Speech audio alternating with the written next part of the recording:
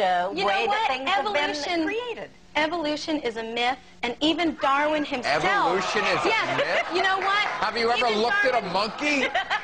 Well, then why aren't they? Why aren't monkeys still evolving into humans?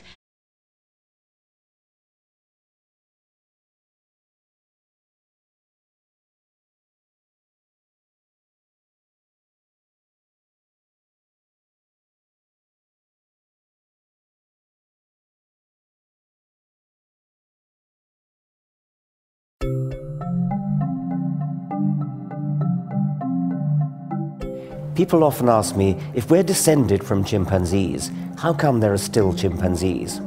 Well, we're not descended from chimpanzees. We're both descended from a common ancestor who lived there about six million years ago.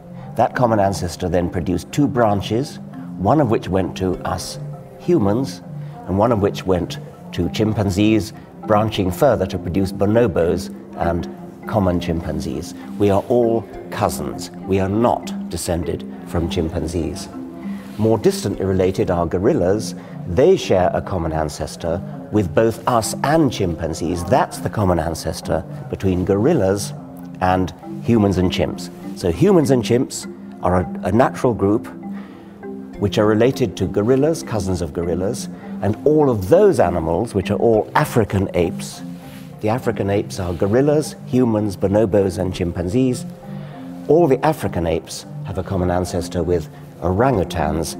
That's the common ancestor with orangutans. Those are all the great apes. So the great apes are all cousins. Within the great apes, the African apes are closer cousins. Within the African apes, humans, bonobos, and chimps are closer cousins still. And within them, bonobos and chimpanzees are the closest cousins of all.